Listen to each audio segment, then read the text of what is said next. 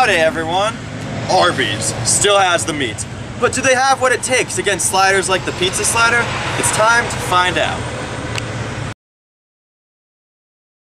So here we are with our three sliders for today's episode.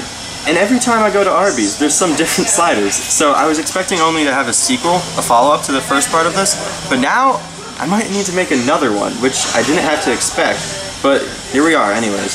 Corned beef slider. Had no idea this even existed until I went to this Arby's today. When was the last time I had corned beef? Maybe March. Anyways, then we have the pizza slider. And the pizza slider on it looks like it has some pepperoni, some tomato sauce, and some cheese, which makes sense considering the name of it. And lastly, this one's served on a King's Hawaiian roll, which makes it extra sweet.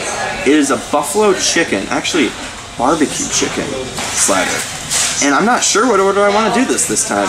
I'm actually really curious, so I might start with corned beef this time.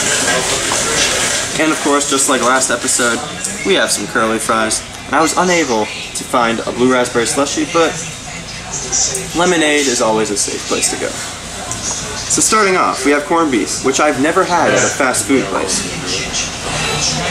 Let's see. How will this taste? Smells salty.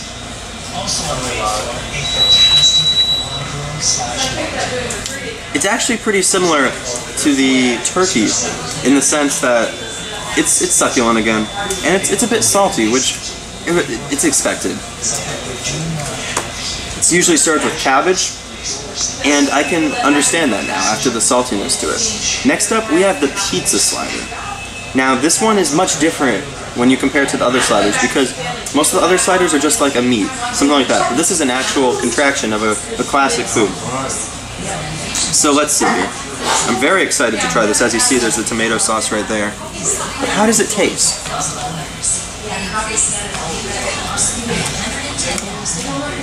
Most of the time when I have pizza, I compare it to other pizza joints, but this, this is incomparable. You cannot compare this to something else. It's so unique, and I love it for that.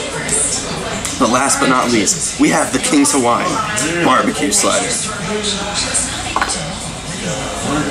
No idea what this tastes like. We're about to find out. Wow. That is a sweet barbecue sauce. Now, I usually save the spicy one for last. This one isn't spicy, but it's just sweet and delicious. Thank you guys for watching this Taste Testers video. Now I'm gonna have to say stay tuned for another sliders. Who knows?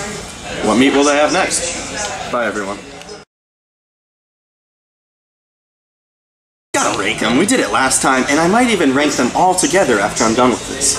So, this is the pizza one. For, just to remind you guys, this is the corned beef, and this is the Hawaiian barbecue chicken. Now, to be honest, I'm just not that big of a fan of corned beef, even though it's an amazing thing, and when you compare it to most meats, it's pretty exotic, it's for fast food. I'm gonna have to place this one in third place, which is still saying a lot, because it's still really good. Oh yeah, this curly fries. Second place. Ooh, this is actually a really difficult one because these both are so unique and delicious in their own ways. But I think I might have to go with barbecue chicken. Barely, but the sweetness, it's just a little bit too sweet. The addition of the King's Hawaiian doesn't help it. It does in most cases, but in this case it's sweet enough with the barbecue on its own. Then obviously first place would go to the pizza one. This alone is just so amazing, and I, I would like to see it as a sandwich here at Arby's. So hopefully they could consider doing that. Arby's isn't sponsoring me, or Lay's, but that's okay. Anyways, now this is this is the conclusion for this video.